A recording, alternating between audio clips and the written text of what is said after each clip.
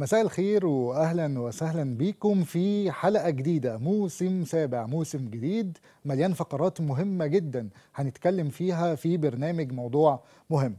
حلقتنا النهارده هتنقسم لجزئين. الجزء الأول هيزعل المخطوبين وهو ده اللي إحنا هنتكلم فيه مع الأستاذة رباب والأستاذة روح زمايلي في البرنامج. أما بالنسبة للجزء الثاني فهو هيزعل المتجوزين أو اللي كانوا متجوزين. لأن إحنا برضه هنتكلم في موضوع حساس جدا. كلنا مرينا بيه الفترة اللي فاتت وهو ده اللي هيكلمونا عنه نور وأسماء. تعالوا زي ما متعودين في بداية كل موسم ما نضيعش وقت علشان زمايلي يكلموكم في المواضيع بتاعتهم. نطلع فاصل على طول ونرجع تاني.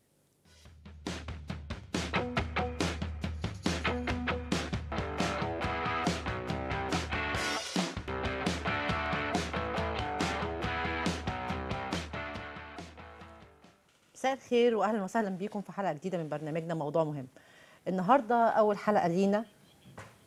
النهارده أول حلقة في الموسم السابع. بنتمنى نكون ضيوف خفاف عليكم. آه وموضوع النهارده الكذب والتمثيل في مرحلة الخطوبة والتعارف. وهل هو كذب إيجابي ولا سلبي؟ وإمتى يكون نتائجه إيجابية وإمتى يكون نتائجه سلبية؟ آه بس خلينا نرحب الأول بزميلتي روح. مساء الخير يا روح. مساء الخير يا رباب. مساء الخير على كل مشاهدينا. وزي ما رباب قالت موضوع حلقتنا النهارده موضوع مهم جدا. بنتكلم عن فترة الخطوبة. فترة الخطوبة دي أهم قرار عشان نكون أسرة بعد كده. الأسرة دي يا إما هتكون أسرة سوية يا إما أسرة هت... هتضطر هنضطر بعد كده إن إحنا ندخل في طلاق والأسرة تتفكك. آه إحنا هنبدأ الأول في الإيه؟ في في فترة التعارف يا روح أنا شايفة إن هي فترة مهمة جدا. هي أساس وبذرة آه الحياة. وبذره تكوين بيت وأسرة. إحنا إزاي عايزين نعرف بس الأول إزاي نبتدي إن إحنا نختار وإزاي إن إحنا نكتشف التمثيل ده أثناء فترة الخطوبة وإزاي إن إحنا طبعا قبل فترة الخطوبة بيبقى في فترة تعارف. فترة التعارف دي إزاي نقدر نعرف منها إن إحنا في طرف من الطرفين بي إيه عايزة أقول لك حاجة يا رباب إن لازم قبل فترة الخطوبة طبعا يحصل بين الأهل إن هم يسألوا عن بعض كويس جدا. ما ينفعش إن إحنا ندخل في مرحلة إن في خطوبة أو كده.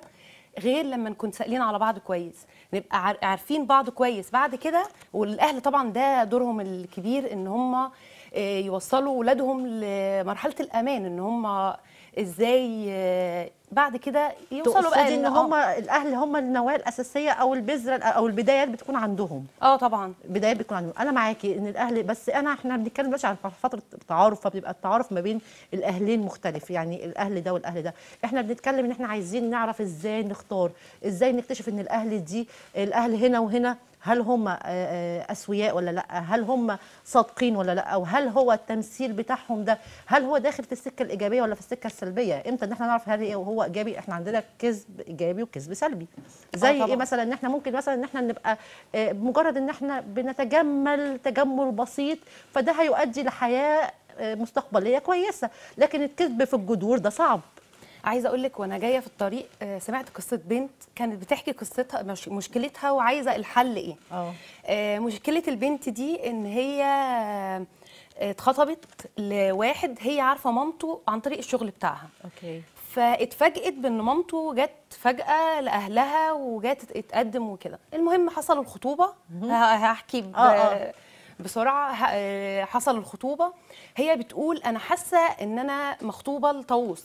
من بره حلو جدا لكن من جوه بخيل معايا جدا كل حاجة فيه مش مش كويسة. وأهلها فارضين عليها إن هي تكمل الخطوبة دي. خليني معاك أقول لك على حاجة جدا إحنا دايما الإحساسات اللي بنحسها بقلبنا بتطلع صادقة. دايما بتبقى هي السبوت اللي بيدو بيدي إضاءة من داخلنا كده إن هي صادقة. بس إحنا عشان عايزين إن إحنا نكمل الحدوته أو نكمل المرحله دي ونعدي بيها فاحنا بنصدق أو بنكذب روحنا. فدي من من الحاجات اللي إحنا لازم ناخد بالنا قوي قوي قوي منها ان إحنا لما نلاقي السبوت بدأ. بدأ ينور لا إحنا نقول إيه؟ لا في حاجة مش مظبوطة لا في حاجة غلط. إحنا بقى عايزين إحنا نقول إيه هو الإيجابي وإيه هو السلبي؟ إمتى يكون الكذب ده إيجابي وإمتى يكون ده سلبي؟ يعني أنا معايا مثلا حكاية إن الكذب بدأ في في, في مرحلة الخطوبة عادي أه أه الاهلين عادي ما في أي مشكلة ناس متوسطة ما فيش مشكلة بس جت يوم كتب الكتاب ظهرت آه كذبة. الكذبة كانت يوم كاتب الكتاب فالوضع كان مختلف. وهي إيه؟ إن لقوا إن الزوج بطاقته مكتوب فيها طالب. فبالتالي ال- م- موجود فيها طالب دي يعني علامة استفهام كبيرة قوي.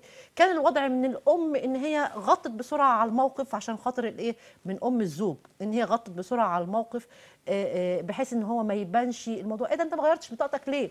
فبالتالي ده نقطة فأهل الزوجة خلاص إحنا بنكتب الكتاب خلاص أوكي. آه. فالموضوع كمل.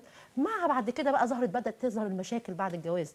لكن دي كانت بداية كان بداية الكدبة. الكذبة آه. بداية الكذبة. لو كنا عملنا برضو إن إن إحنا يعني الأهل مش عشان بنتهم وصلت لسن معين لا نتنازل. لا ما ينفعش لأن أنتوا هتتنازلوا دلوقتي بعد كده هتبقى هترجع لكم باولادها بالظبط. بأسرة مدمرة. بالظبط. أنا دلوقتي هتنازل فرد فرد هو اللي هيدمر. لكن أنا بعد كده في في ال- في الحالات بعد كده بتبقى إيه؟ فرد آه، يعني بتبقى الزوجة والزوج بيبقى حياة انفصلت تماما.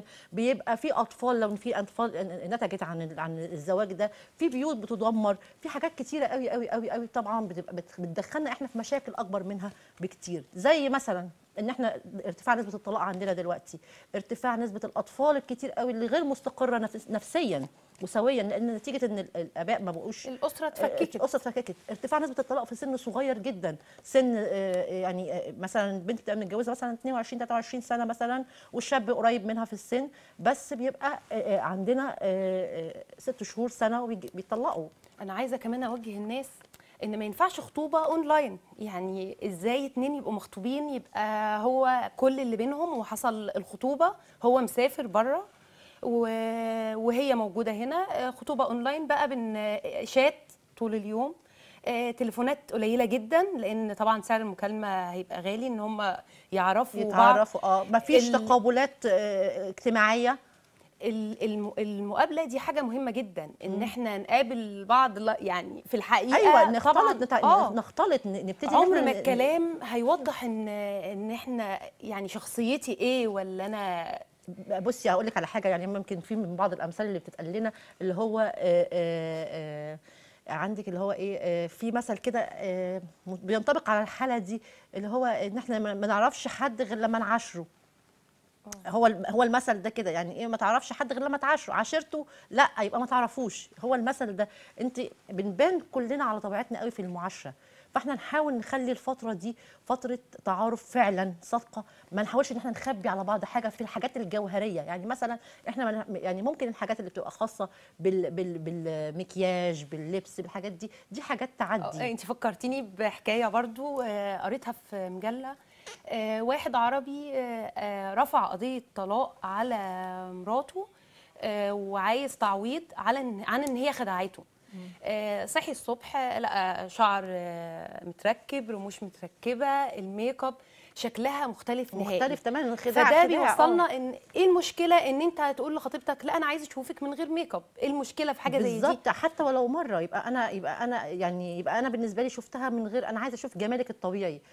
حتى بأسلوب راقي اللي هو أنا مش مثلا عايزة أشوفك من لا أنا عايزة أشوفك بجمالك الطبيعي بشكلك الطبيعي على طبيعتك. نحاول نظهر في الفترة دي بأكتر وقت إحنا فيه على طبيعتنا. ما نحاولش نتكلف. في حاجات بتبقى جوهرية زي ال- إيه مثلا لو زي ما انت قلتي كده البخل. عدم وجود أصل أو نسب.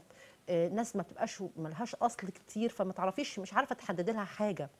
إحنا قبل ما ندخل الحلقة يا رباب انت قلتي لي آه، على فكرة برضو إن إيه المشكلة إن إحنا نروح آه، نزور مثلا أهل العريس أو أهل العروسة نقول لهم إحنا ساعة وجايين لكم عشان نشوف البيت على طبيعته. بالظبط. إن الفكرة دي برضو طبعا حلوة جدا في آه. إن في إن أنت تعرفي الناس على طبيعتهم. ونحاول إن إحنا نخلي مقابلاتنا كلها داخل البيت يا جماعة. نرجع تاني الروح للبيت نرجع الحياة للبيت إن إحنا نبقى كلنا بنتجمع على ترابيزة واحدة. آه، نتغدى نحكي. نحاول نقرب لبعض. أكيد أكيد مش مش هيبقى فيها في الوقت ده حد بيضحك على التاني. أكيد هيطلع في لحظة التجمع دي غلطات ولو بسيطة هنقدر نكتشف منها الشخصيات. آه طبعا آه طبعا هي ف- وعايزة أقول لك إن فترة الخطوبة لأ يعني لو طولت شوية يعني ما تبقاش أقل من سنة عشان يعرفوا يدرسوا بعض كويس. ده طبعا هي هيقلل من هيقلل هي الطلاق بص بعد هيقلل كده. من النسب وهيقلل من حاجات كتير جدا. إحنا في نهاية بقى فقرتنا عايزين آه، إن إحنا نقول إن إحنا نتمنى نكون اولا نكون ضيوف خفاف عليكم ثانيا نتمنى إن إحنا نكون آه، سلطنا الضوء ولو بنسبة بسيطة على المشكلة وعرفنا إن إحنا قد إيه آه، هنحلها أو هنتعامل معاها إزاي لو ظهرت عندنا. وبكده فقرتنا خلصت. يا رب تكون الحلقة اللي عجبتكم. بس الحلقة لسه ما خلصتش. خلوكم معانا. هنطلع فاصل ونرجع لزمايلنا.